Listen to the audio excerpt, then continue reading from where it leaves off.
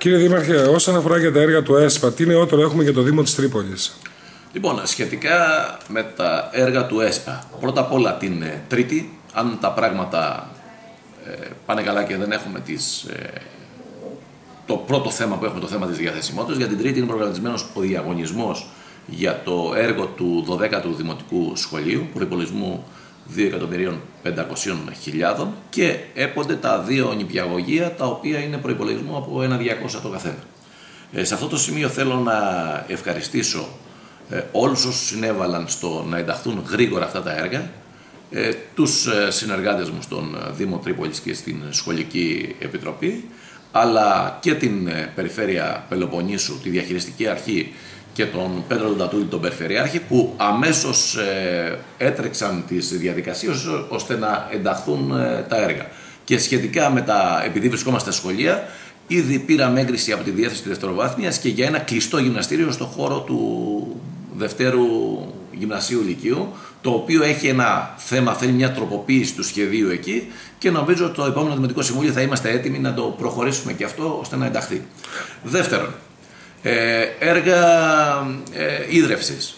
Την ε, προπροηγούμενη εβδομάδα κατατέθηκαν ε, τέσσερις ε, μελέτες από τη ΔΕΙΑ. Είναι η ίδρυυση από τις πηγές της Πιάνας 7 εκατομμύρια 700.000, η ίδρυυση Κανδύλας στο εσωτερικό δίκτυο 1.200 και δύο ιδρεύσεις ε, Σταδίου και Ριζών 900 και 800.000. Είναι ένα σύνολο προϋπολογισμών περίπου 11 εκατομμυρίων. Αυτή τη στιγμή έχουν κατατεθεί στη διαχειριστική αρχή προχωρεί η αξιολόγηση και ελπίζω ότι με τη συνεργασία της ε, διαχειριστικής αρχής της Περιφερειας και του Περιφερειάρχη, ε, σύντομα αυτά τα έργα που λύνουν πολύ σοβαρά προβλήματα διαχρονικά στον χώρο της ίδρυυσης θα ενταχθούν για να ξεκινήσει η υλοποίησή τους. Αυτά έχουν σχέση με τα έργα της, ε, του ΕΣΠΑ που χειρίζεται η διαχειριστική αρχή της Περιφέρειας Πελοποννήσου. Τώρα, ε, είχαμε μία συνάντηση στην ΕΤΑ την ε, Τρίτη για δύο θέματα. Το πρώτο είναι η ολοκλήρωση της ανάπλασης πλατείας Άρεος που υπογράψαμε συμφωνητικό χθες. Ε, ήδη το έργο θα χρηματοδοτηθεί από το ΕΣΠΑ που χειρίζεται η ΕΤΑ και έχει προωθηθεί για υπογραφή στον Υπουργό Εσωτερικών με, για πίστοση 446.000 ευρώ. Και ακολουθεί η λαμπράκη η οποία υλοποιείται καθώς και η πλατεία του συνοικισμού, όπως και μία ανάπλαση στην ε, Κανδύλα, τα οποία θα προωθηθούν για ένταξη στο ΕΣΠΑ που χειρίζεται η ΕΤΑ. Και με την ευκαιρία αυτή κάναμε μία συνάντηση με τις κοινωνικές δομές ε, της ε, ΕΤΑ, προκειμένου το Βοσινιώτιο να ενταχθεί για φέτος στο πρόγραμμα ε, της ΕΤΑ που χρηματοδοτείται το κάθε παιδάκι βρέφος ή ε, νήπιο ανάλογα και το σύνολο είναι περίπου 38 παιδιά για χρηματοδότηση της τάξης των 120 με 130 ευρώ.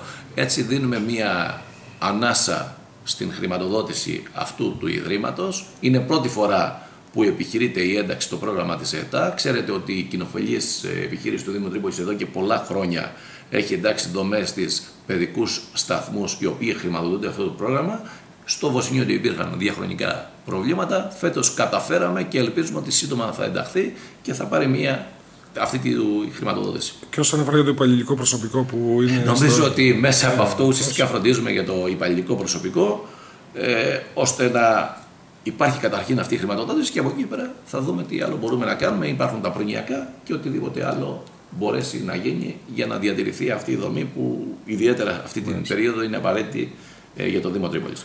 Και η άλλη συνάντηση που είχαμε ήταν για ένα έργο που είχε υποβληθεί από την προηγούμενη Δημοτική Αρχή.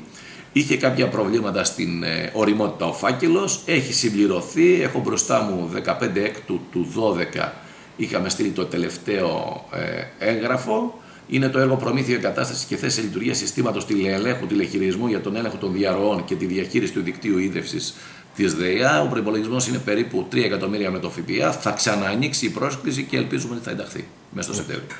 Και όσον αφορά για τη διαθεσιμότητα, τι καινούργια έχουμε, κύριε Δημαρχία; Ε, Χθες, όπως γνωρίζετε, υπήρξε μία ε, συνεδρίαση έκτακτη της Περιφερειακής Ένωσης Δήμων Πελοποννήσου το βράδυ στο Δημαρχείο της ε, Τρίπολης, στην οποία υπήρξαν, ε, συμμετείχαν και τόσο οι εργαζόμενοι στη Δημοτική Αστυνομία αλλά και οι σχολικοί φύλακες από όλη την περιφέρεια Πελοποννήσου, εκπρόσωποι των εργαζομένων, εκπρόσωποι ε, αυτοδιοικητικών ε, ε, σχημάτων, συνδυασμών, αλλά και εκπρόσωποι κομμάτων.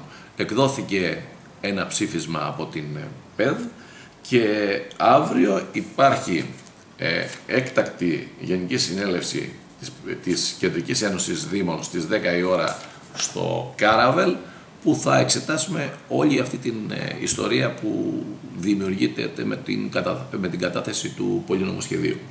Ε, η πάγια θέση της ε, τοπικής αυτοδιοίκησης είναι ότι δεν μπορεί μονομερός να πλήττεται μονίμως και ουσιαστικά οι όποιες μνημονιακές δεσμεύσεις να εξαντλούνται στην αυτοδιοίκηση. Δεν υπάρχει αντίρρηση για, την, για κινητικότητα προκειμένου να γίνει εξορθολογισμός ε, της κατανομής του προσωπικού αλλά όπως είπα και χθες στη ε, συγκέντρωσης νομίζω ότι οι δεσμεύσεις για την αυτοδιοίκηση που είναι από 80.000 το 10 να πάμε σε 70, από 85.000 να πάμε σε 70.000 μπορούσε να επιτευχθεί απλά και μόνο με την ε, συνταξιοδότηση σταδιακά των υπαλλήλων. Αλλά δυστυχώς ερχόμαστε και ξαναπαίρνουμε προσωπικό και ολόκληρους κλάδους οι οποίοι είναι απολύτως χρήσιμοι και για τα οικονομικά της αυτοδιοίκησης γιατί ήταν ε, κλάδοι που αφενός σχολικοί φυλακέ προφυλάσσουν τα σχολεία από βανδαλισμούς, από φουδωρές που θα επιφέρουν και δαπάνες. Η δε δημοτική αστυνομία είναι ο κύριος ε, μηχανισμός ο οποίος ε, φέρνει έσοδα από έλεγχο παραβατικής ε, συμπεριφοράς και χρήσης των κοινών των χώρων, λαϊκών αγορών, ε, ελεγχόμενη στάθμιση κτλ. Ε, νομίζω ότι πρέπει να το ξαναδούν το, το μέτρο αυτό της ε, οριζόντιας ε, διαθεσιμότητας των ε, υπαλλήλων ε, και αύριο θα έχουμε και την συνολικότερη στάση της πρωτοβάθμιας αυτοδιοίκησης για το θέμα αυτό μέσα από την Γενική Συνελεύση που θα γίνει.